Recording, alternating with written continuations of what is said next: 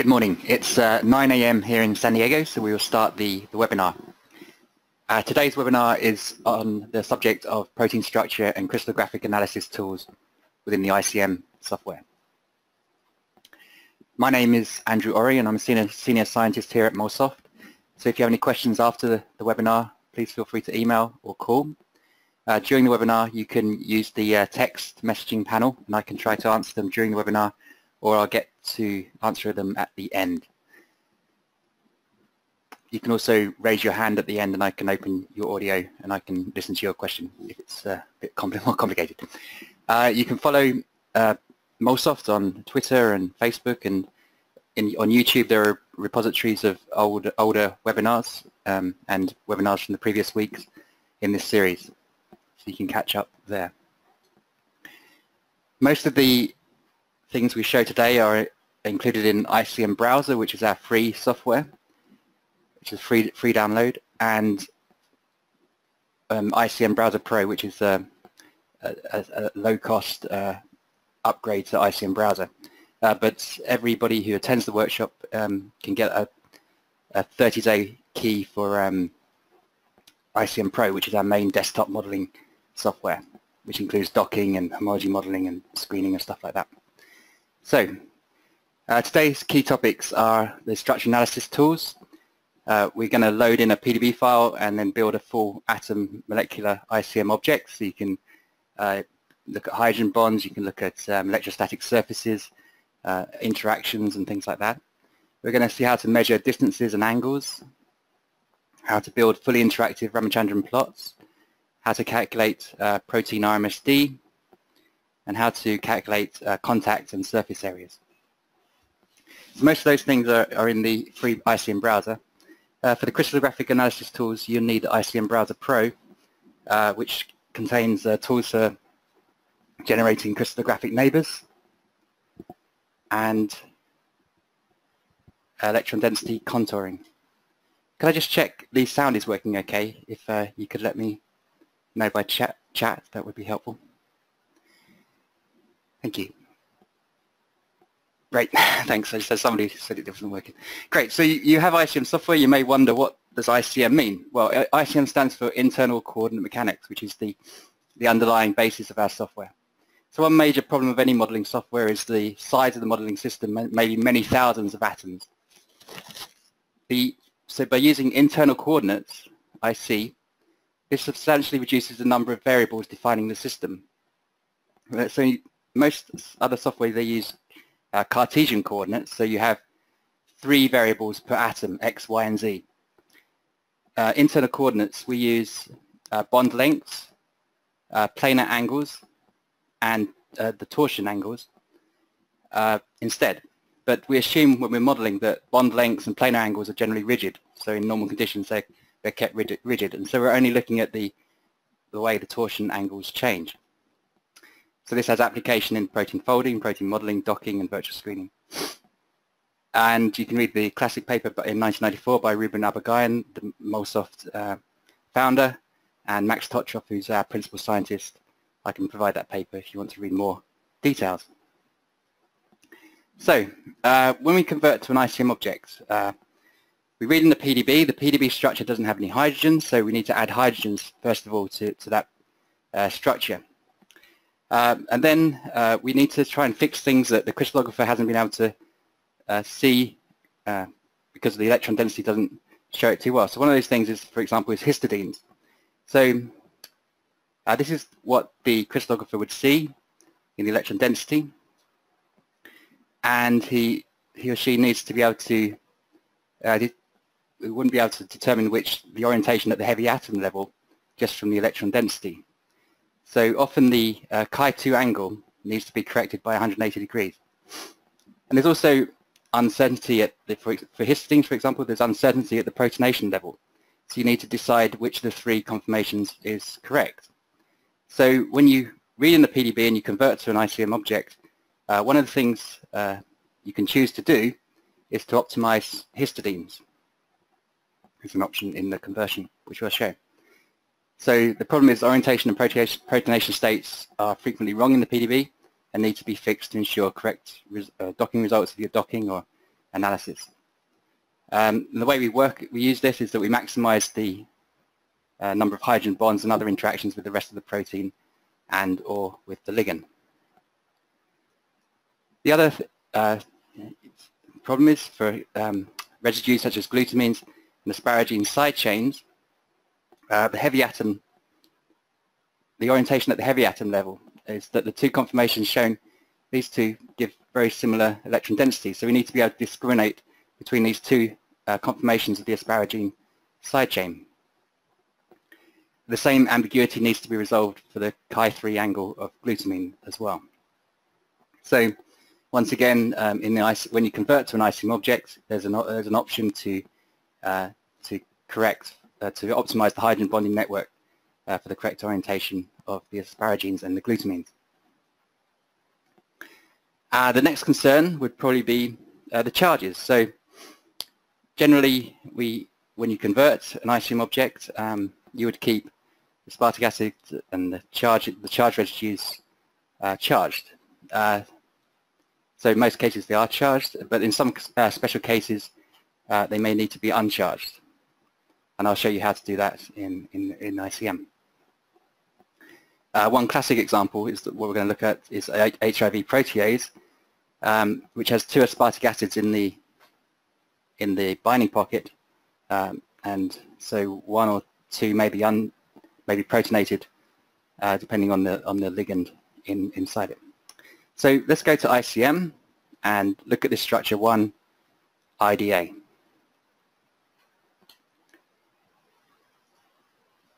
So we to read in the structure, we go to the PDB search tab and just type 1IDA and uh, just go no for that. And this loads the structure from the PDB. Uh, we can see we have the two chains for the HIV protease. Um, blue is chain A and uh, B is uh, yellow is chain B and the, the ligand is shown in green. So to convert this to an ICM object, so at the moment, if we try and display hydrogens, for example, if we display all wires, we see that there's no, you can use this button here to toggle uh, between hydrogen display. There's no hydrogens, obviously, because it's, it's, it's, directly from the PDB. The resolution's not that, that good. So we're going to add hydrogens, we're going to optimize and to make it to an ICM object. We can do that by right-clicking on the object level here and choose Convert PDB. So when you do that, uh, you get some uh, questions to be to be asked. Um, now, uh, you can delete all the waters when you convert. You can keep tight waters, which means uh, waters that make two, uh, three or four hydrogen bonds between the ligand and the receptor. Or you can keep all waters. Um, for this example, I'm just going to choose keep tight, although should, there are some key waters actually that um, help to uh, bind the inhibitor, but um, it takes a while, a little bit longer to um, to convert. So I'm just going to choose that, and then you choose the optimized hydrogens. that will um, improve the hydrogen bonding network. Um, and then, as I as I showed in the slides, you've got the option to um, optimize histidines and asparagines and glutamine residues, and other like cysteines and prolines um, in in special cases where the ligand is bound. Uh, and then you get a choice for replace the original, which will overwrite your X-ray structure, which I'm going to do. Display the result. Hide missing side chains. So if the crystallographer has uh, has uh, shown that there's um, if, if, there's um, occupancy of zero in some of the atoms in the uh, in the side chain, if you choose hide missing side chains, ICM will not build those full side chains. But if you choose uncheck it, uh, it will it will build the full chain for the the residue. You can assign secondary structure and guess formal charges and ligands uh, and optimize ligand tautomers, but we won't be doing that. We just go OK. And this converts it to an ICM object. And you can see in the in the terminal window, uh, it gives you information of what it's done. So it gives you some it's optimized 29 polar hydrogens. Um, it's flipped this glutamine and these asparagines shown here. So now if we display in, in wire, we can see the hydrogens are added. And so uh, this object is now uh, more amenable to, for, for things like building um, good uh, surfaces uh, for electrostatics, for docking and other, other tools like that. And that's it. So if you want to toggle the hydrogen display, we can just um, go to this button here and just choose polar hydrogens. It makes it a bit clearer. And so uh, if you want to see the hydrogen bonding network for the whole uh, protein, you can just click on the hydrogen bond button here. And that displays the, the hydrogen bonds. You can see that there are 133 hydrogen bonds and you can toggle them on and off uh, using the buttons, uh, using these uh, buttons here. You can select, you can also select them by double clicking it'll take you to the hydrogen bond of interest. Uh, you can also export this uh, to a table. It gives you all the, the interactions in a nice spreadsheet that you can export to Excel perhaps or something else. So you can export to Excel. So it shows you the, this one is from, this hydrogen bond is from proline 1 to leucine 99. It's got the distance and everything like that. We may just be interested in the hydrogen bonds between the ligand and the receptor. So one convenient way to do that, that's going to delete these ones. Delete. There's, if you right click on any ligand, you can just go to pocket and then show ligand pocket interactions and that will give you a clearer uh, indication of the, the, the, ones that are in the, in the region of the pocket and between the ligand and the receptor. If you want to play around with different hydrogen bonding parameters, you can click and hold on the hydrogen bond button in the display tab, and then you can uh, change the color of the spheres. The spheres actually uh, represent the strength, actually. So the thicker, uh, greener uh, spheres are stronger hydrogen bonds. Um, but you can also find weaker hydrogen bonds by changing the hydrogen bond minimum energy, and then remake, re, refine, re, re, remake the hydrogen bonds by clicking on the button and it re, re uh, populate this in the ICM workspace and in the graphics as well. Okay. So uh, we also mentioned that uh, you may need to play around with the charges. Uh, so if we look at the, in this structure, I'm going to find find all the charged residues basically. If, I, if we go to the XX button here, so all green buttons are to do with selections. So if we want to find all the charged residues, um, it's quite a useful button because uh, it's, it's got different tabs. So if you want to find something related to the atoms, such as B factor range or something like that, or something related to residue, which I do, want to find the charged residues, um, you can go to secondary structure, select all the helices or select all the beta sheets. But um, I just want to go to the residue tab and choose the charged residues and um, display them. So I can find those two aspartic acids which are quite close together in the in the ligand binding pocket. And so one of them is probably likely to be protonated. So if we select those and go, and go close, you see we have the green crosses in the graphics. And we these the selection it's made is, is on the backbone.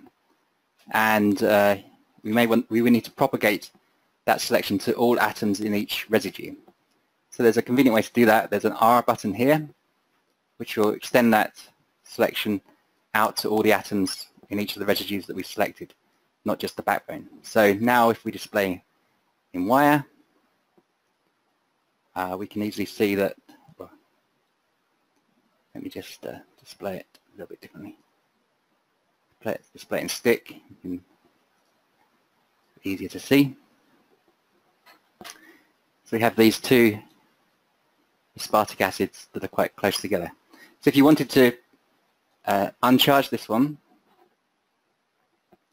uh, it's it's quite a subjective thing because you've got to be careful with the ligand, how the ligand is bound, and maybe they'll both be uncharged or both be charged, uh, one be charged and the other not. Uh, but to, to do that, you can just um, you go right click on the on the on the residue you want to uh, play with, and then choose set aspartic uh, uh, set here, and then you can choose neutral or charged. So if you go neutral, see now it's protonated, and um, this is it's no it's uh, so you can modify it back again. Uh, if you right click, uh, you can choose, you have to go to advanced and you can flip it back again. You can also use this uh, menu for mutations, for making, you can mutate the residue to a completely different amino acid. Um, you can mutate it to a, an, uh, an amino acid, an unusual amino acid, for example. Uh, you can also attach modifiers at this point as well. All these things we're going to cover in the next series of um, molecular modeling uh, tools. So, but at the moment we're just looking at visualization. So um, this, these are the options that are available here. And many of these more advanced mutate and um, minimize options are available in the ICM Pro desktop uh, modeling software, which you have, uh, you can get a license for by just email. The instructions should have been in the GoToMeeting um, invite, if not just email me. Uh, so yeah, so now we can you can play around with the, the protonation state of that um, residue. So now it's converted to an ICM object. You can also build electrostatic surfaces, for example. So you can just select a chain, go to meshes, choose in this drop-down list we have different kind of surfaces. We'll choose electrostatics, and it will build that surface. Eventually. there we go. And yeah, so the just I just made it with one change just for speed. Um, that you can you toggle the the, the the surface on and off in the ICM workspace. You see that you get an additional uh, option here, which is G for graphical object, electrostatics of PDB1 IDA chain A. You toggle that on and off. Okay. So we also um, going to cover the Ramachandran plot. To make, build a Ramachandran plot, we uh, need to select the structure that we want to analyze. We go to Tools, and choose um, Analysis, and choose uh, Ramachandran Plots Interactive. And this will build uh, some plots for you. So you have the psi-phi angles um, plotted on the right hand side here. Uh, we have different uh, representations, the omega angles, and so here you can uh, select uh, re a, a, residue by single clicking. It will take you directly to that uh, residue in the in the structure. You can make more than one selection. So you could select all the residues here, and it will take you to those to those residues. So it's also so you could you've also got a table on the left hand side with the actual numbers for the phi psi and the omega angles. So that's the Ramachandran plot. These can be um, exported as images. You right click on the here and say save image.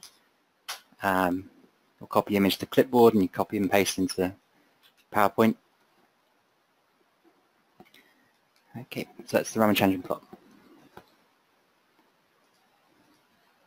So now we're going to look at uh, measuring distances and angles and uh, contact areas. So we'll go back to double click here and center. We were interested in the distance between those two um, aspartic acids in the, in the pocket. Uh, we can, to measure a distance, we need to go to the display tab here and you choose the, the button here which says which distance between two atoms. You single click and then you can see your uh, cursor changes to a, a finger. So you can point at an atom and then click on one atom in distance to another. Okay, so this one is uh, 2.6 angstrom difference. So now you can see we have another option in the 3D labels. And this one is shown here, so you can right click and you can choose different representations. You can say bold. Um, you may want to change the font. You can edit the font and choose um, larger font. And the color and uh, just going to get rid of that pickable. So that displays the, the distance. Uh, you can also do this on the command line as well. Uh, that, that, the command line is a is a different uh, webinar, but um, if you want to learn it, just for example, um, the, the what, what, we just did has been um, placed into the terminal window, so you can learn the command line to do it uh, by just looking at the graphics and then seeing what comes out in the terminal. Uh, so to measure angles, um, we can uh, select uh, so like three three atoms. It will display the angle. You can see now that we have another uh, category in the 3D labels uh, section in the ICM workspace here called angle list and in a similar way you can play around with the coloring and the um, fonts and things like that. Um,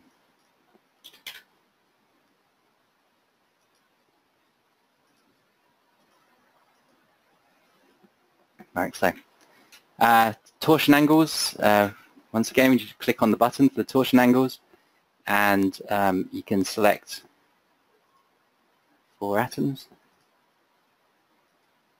and the torsion angle will be displayed here and once again we've got a new uh, section called torsion list and we can play around with the, font. You can change your default settings so it'd be larger uh, by default. Um, so this is the angle, the torsion angle here. Okay, so that's uh, you can also select an atom, and let me just so if you select one atom, and then you can use this button to find or display the distances within three angstroms or whatever this number here is set for to from from this atom outwards. So if you click here, uh, and you found one. If we extend the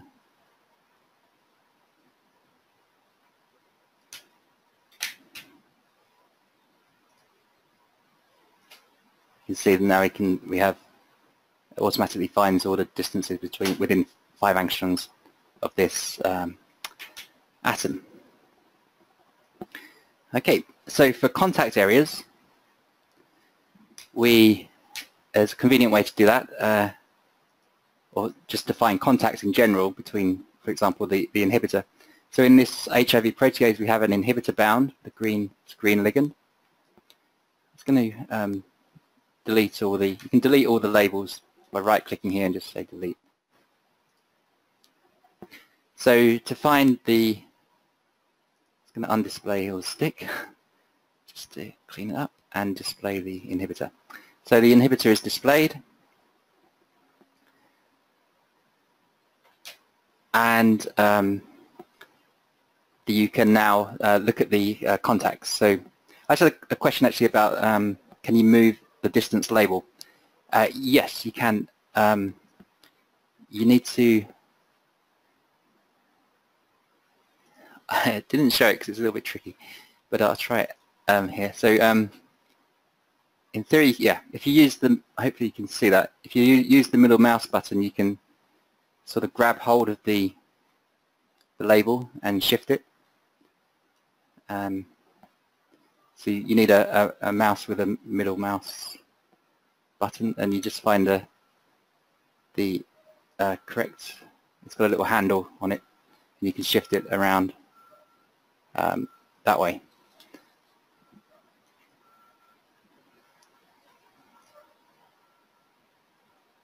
Like this. Bigger.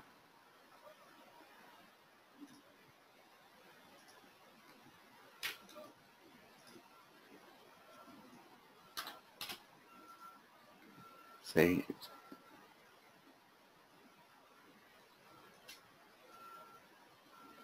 yeah, you can use the middle mouse to, to shift it.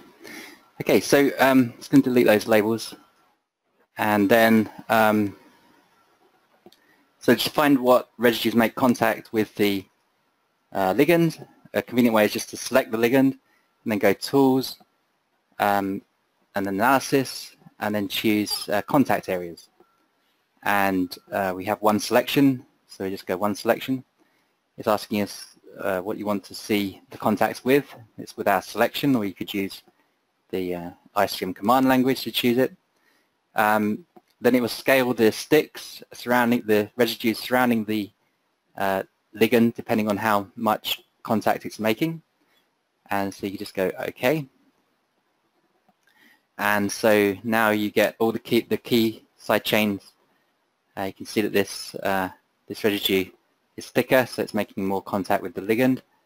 And uh, you get a table with contact area and exposed area and the percent of buried, how, how buried uh, that residue is.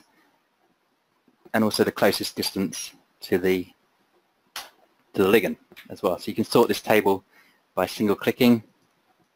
All these tables can be exported to Excel and uh, they're all fully interactive as well. I think, yeah. So if you double click, um, it'll take you to those, to that residue. You see a selection here, um, which is the biggest one. That's this aspartic acid. So if you double click, it takes you to that structure. So if you on display, you have the these two shown. Okay, so those are contact areas.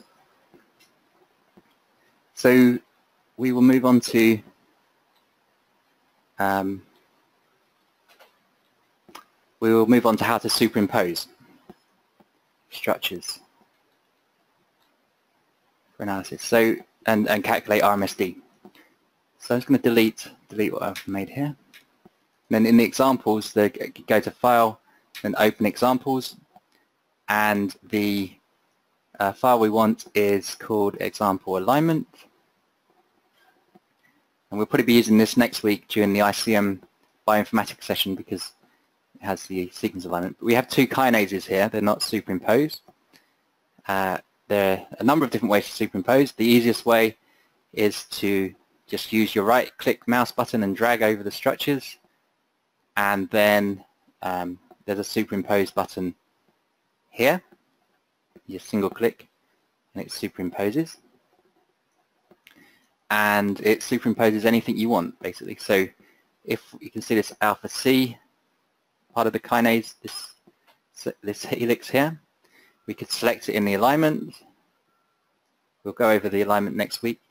Um, the selection is propagated to 3D. So now if we go to the superimpose button, it will superimpose the region you selected. You also select the, or you could select the um, ATP binding pocket, just um, manually like that, and then do superimpose, go OK, and then it's superimposed on the binding pocket. And then superimpose this loop, you just select that loop and you just go click and that should be that's superimposed. Okay, but um, you may want to be more specific about how you superimpose. So um, this is just a convenient tool that's in the graphics. Uh, if you want to go to, and then if you look in the terminal window, it will spit out the, the RMSD um, value. Uh, let me find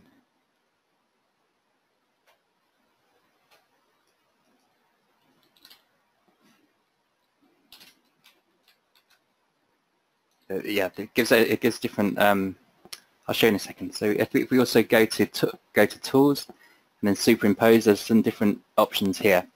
So if we select the, the chains we want to superimpose, you can use control to select uh, non-contiguous. Uh, yeah, I had a question about um, the, yeah, the alignments we will cover next week. So uh, I'll, I'll hold off talking about alignments until then, uh, so we can carry on with this.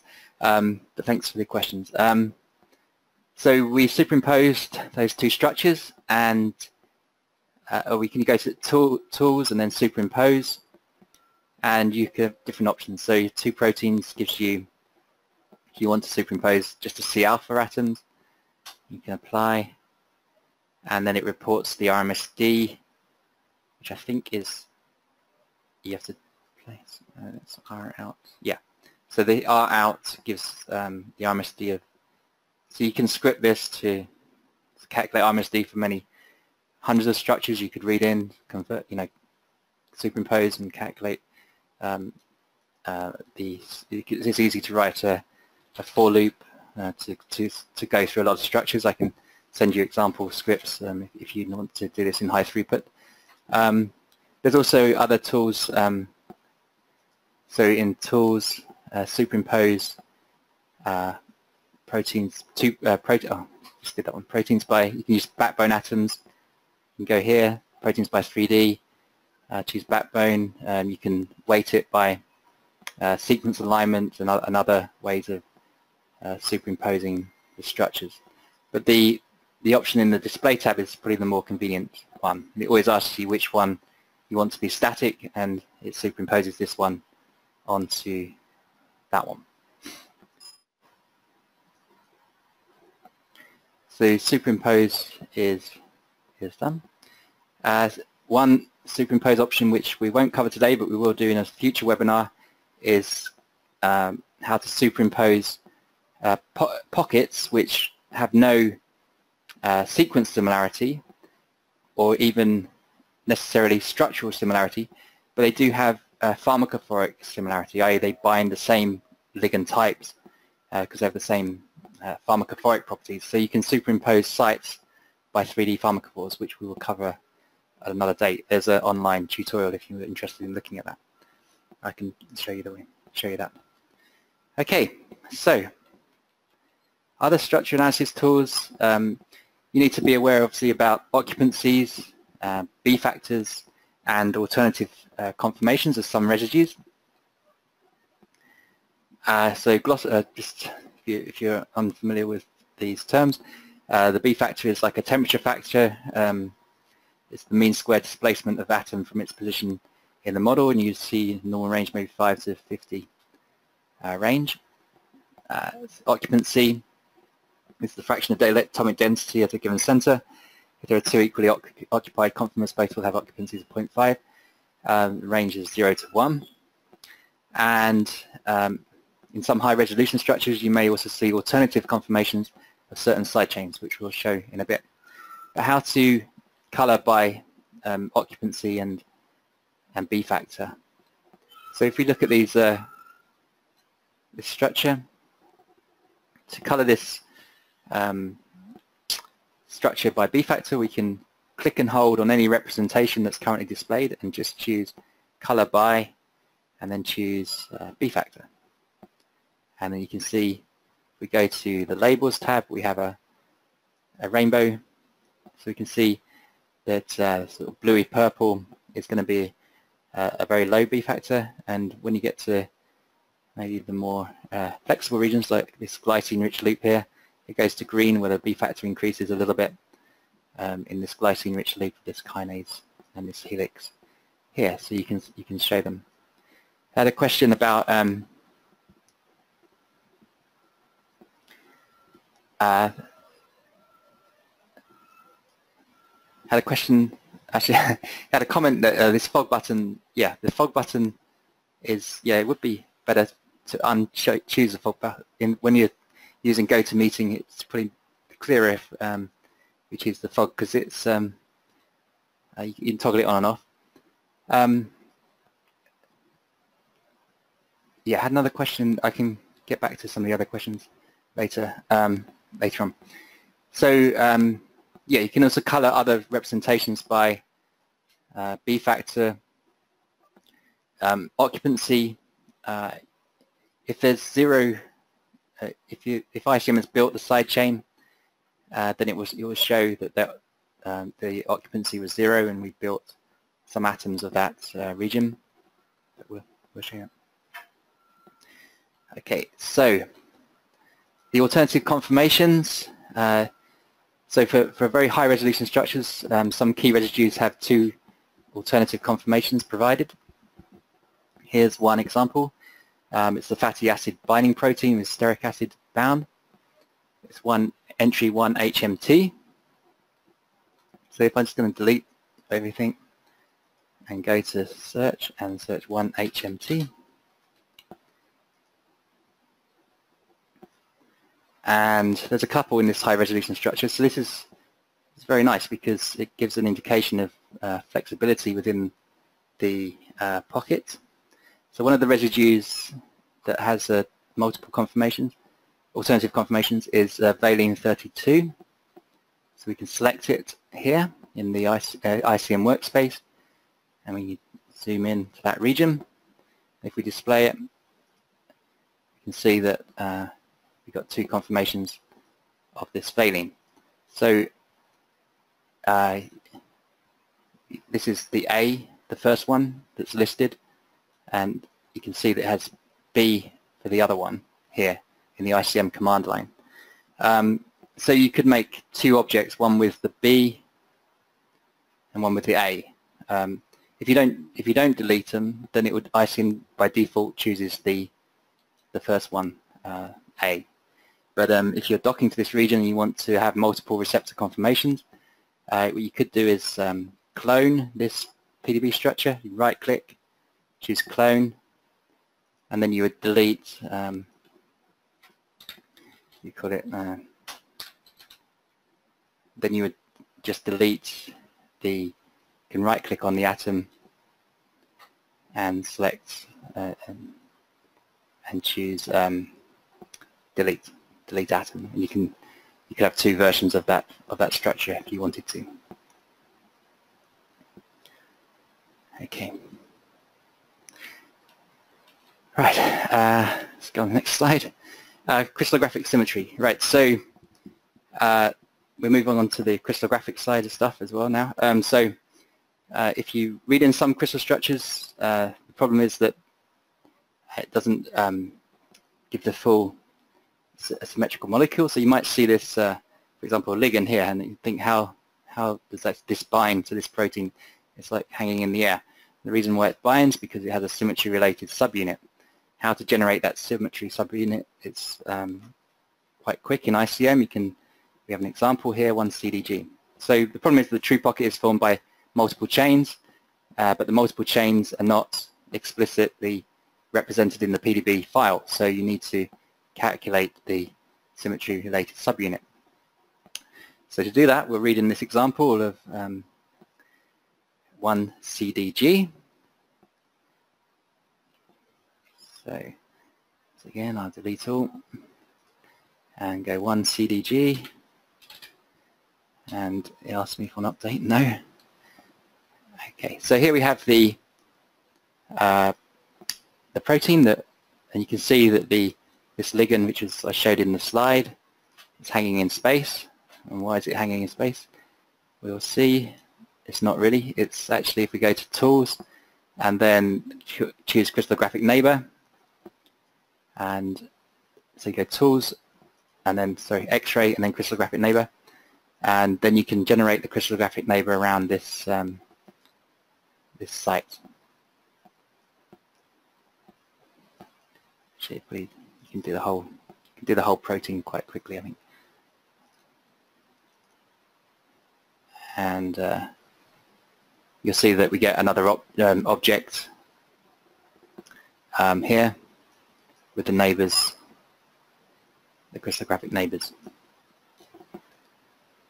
So you can uh, toggle these on and off, or you can build the whole chain as well. Just for speed, I, I just chose uh, fragments of the, the chain.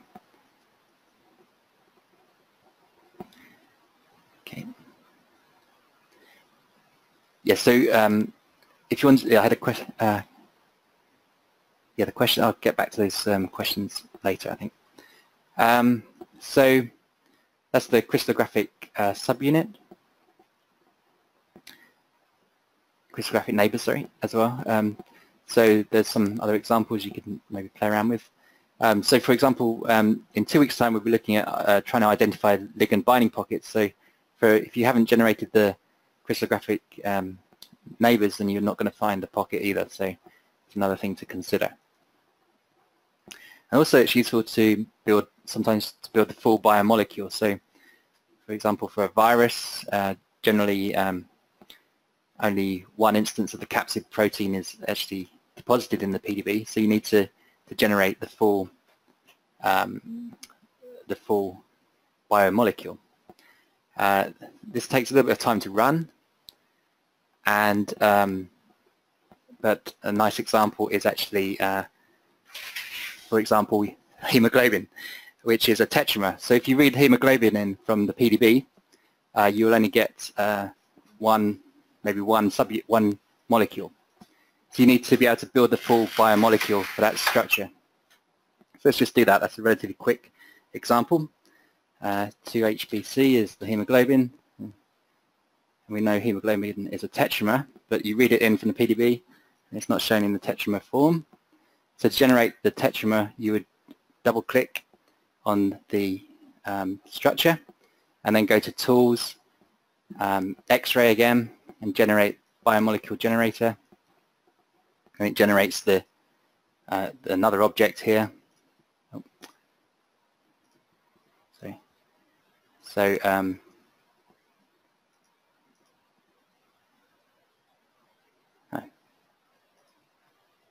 didn't generate it. Yeah, so it should um, it should generate the the, the full uh, tetrameric complex. Or you could build, you could try it with a, um, a, a capsid protein and generate the full virus as well. But anyway, the, if the biomolecule information is in the PDB, then uh, you go to Tools, X-ray biomolecule generator.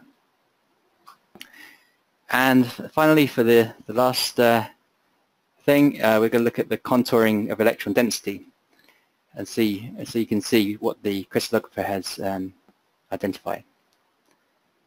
So uh, it's going to delete here. If we read in 1xbb, which is uh, the um, which is a kinase with a Gleevec bound, we can, so read the PDB structure, we can read in the electron density map and we can contour it.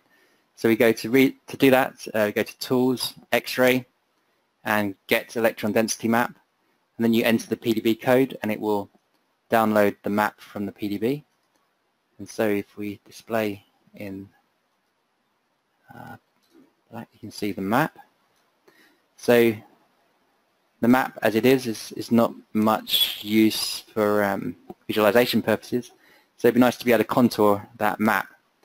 So you can contour the whole map if you wanted to, or you can contour a selection. So you just double click on a ligand and um, you go to Tools, X-ray, and then you can contour the map uh, in that option here and go OK. And now if we zoom into that selection, you can see it's contoured and you can see that the, the crystallographer has seen the, the bulk of this ligand pretty well, uh, but this, uh, this group here on the outside is uh, there's very little electron density for that region. So when you're docking, it may not go uh, in that particular conformation, but uh, it's worth checking um, checking these things if you if you're docking to this region or if you're modeling. It's, it's a good idea to be able to download the uh, the, the maps and then see the quality of the structure around your region of interest. So um, we can select neighbors. That's going to, you can display the, the other chains inside the density. There's different contouring levels as well. Um, by default you can use plus and minus here to, to go through different, you can see a little bit more density for this. Um, that's a higher contouring level. Okay, so that's uh, contouring and uh, um, reading electron density maps. So uh, I have some questions that have come through the text, but um, please feel free to, to continue asking them. I'll try and get through them. Um, then next uh, webinar coming up is on uh, protein structure alignments, how to build alignments, how to uh,